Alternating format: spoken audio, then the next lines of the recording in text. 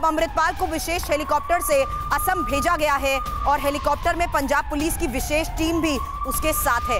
ज़ाहिर सी बात है, यहाँ ये देखा जा रहा है कि किस तरीके से उसे अब असम ले जाना ज़रूरी था। इसीलिए विशेष विमान के ज़रिए कानून के शिकंजे में आते हुए हेलीकॉप्टर में पंजाब पुलिस की विशेष टीम अपने साथ उसे असम लेकर जा रही है। हालाँकि पुलिस टीम को मोबाइल इस्तेमाल ना करने की भी सलाह दी गई है और ये इसलिए भी मोहित बहुत ज़रूरी था क्योंकि बहुत से ऐसे समर्थक हैं और ये कहना भी क्या सही नहीं होगा कि डिब्रूगढ़ में ही ऐसे बहुत से समर्थन पहले से मौजूद हैं और यहाँ पर भी सुरक्षा सुनिश्चित की जानी बहुत ज़रूरी है। और इस पूरी मूवमेंट में ये निर्देश देना कि बेटर रहेगा अगर पुलिस ऑफिसर्स भी अपने मोबाइल्स का इस्तेमाल ना करें।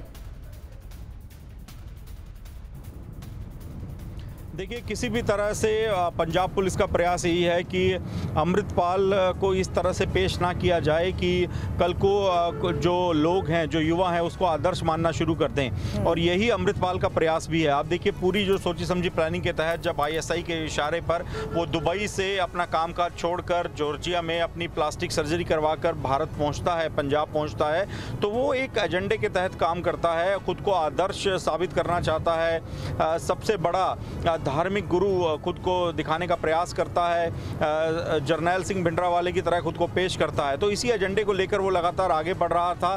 तो अब गिरफ्तारी के दौरान भी उसने यही कुछ करने का प्रयास किया।